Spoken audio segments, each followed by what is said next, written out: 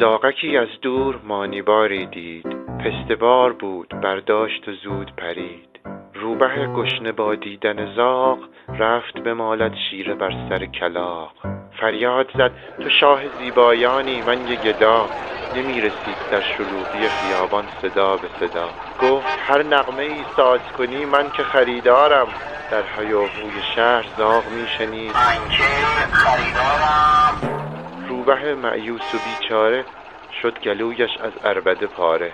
رفت و برگشت روزی سرد و خلوتتر سوزاندن مازوت کرده بود هوا را صد بدتر. روبه پرفریب و حیلت ساز ایستاد و پاچه خاری نمود آغاز.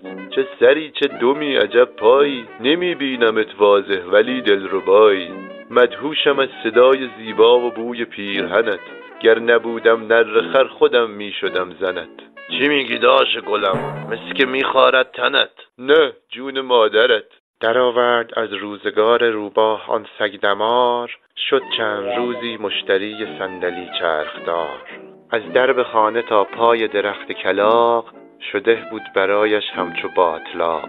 دستانداز و پله و مانع و میله های کبیر و صغیر در پیاده رو کرده بود روبه را اسیر.